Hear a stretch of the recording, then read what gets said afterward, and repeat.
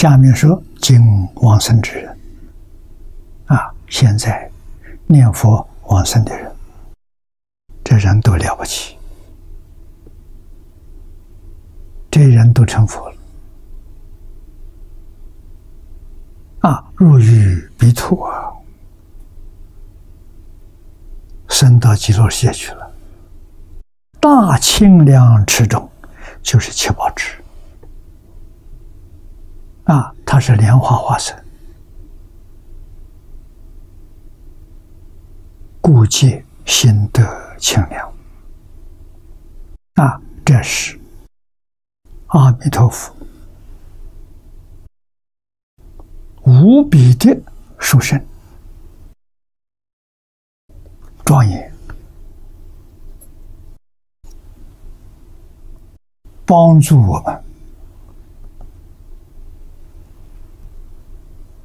我们在这个地方。要修到清凉，就是我们经题上讲的清净，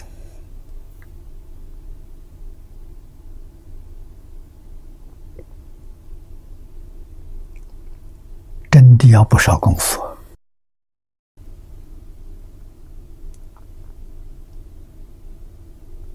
要很长的时间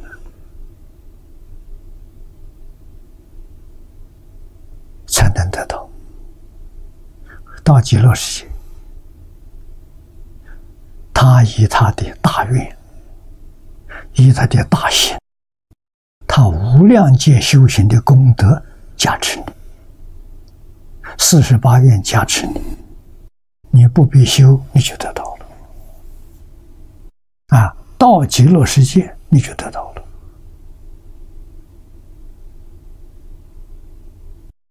净宗法门、他力法门，不靠自己，全靠阿弥陀佛。啊，其他的法门，八万四千法门，要靠自己，这一定要知道。啊，一半靠自己，一半靠佛力加持。净土法门完全靠佛。啊，自己你看看，就四个字：信、愿、持、名。啊，佛要的就这三种事情：真心，没有丝毫怀疑；真愿意到极乐世界，没有第二个念头。啊，持名就是一句名号，老老实实念下去。你就成功了啊！需要多久的时间？绝大多数的人三年。我们在《净土圣贤录》里面看到，在《往生传》里面看到，啊，绝对不是说他寿命只有三年，这讲不通的。他三年功夫成片。功夫成片就有资格往生啊！功夫成片的人，阿弥陀佛一定来给他见面，来送信息给他，就是平常所讲的受记呀，等于受记，或是在定中，或在梦中，啊，见到阿弥陀佛，阿弥陀佛会告诉。你你还有多久的寿命？你寿命到的时候，他会来接引你，你就放心了。啊，知道啊，在极乐世界已经注册了，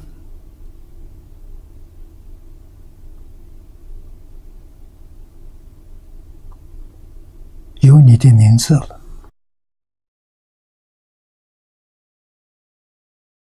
啊，那么有不少聪明人。还有寿命不要了，这个时间太苦，这个时间很可怕啊！为什么？什么时候迷惑颠倒，自己不知道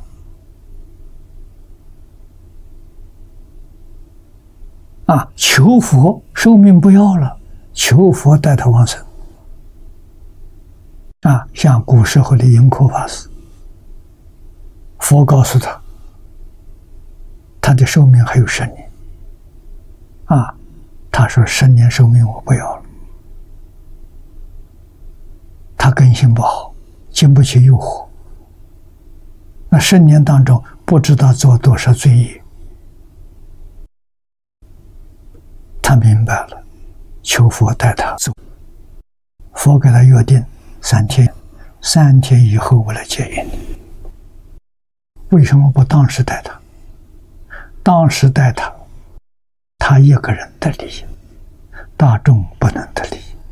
三天之后，让他把信息传出去，啊，让大家看他往生，就相信了。那就普度众生了，啊，这个是记载在《往生传》里面。你看，他他跟我说宋朝人，跟我们七八百年。我们今天读他的这些资料，我们深深信心。那这个影响多大？叫自行化他，这种方法就是化他。阿弥陀佛，阿弥陀佛，阿。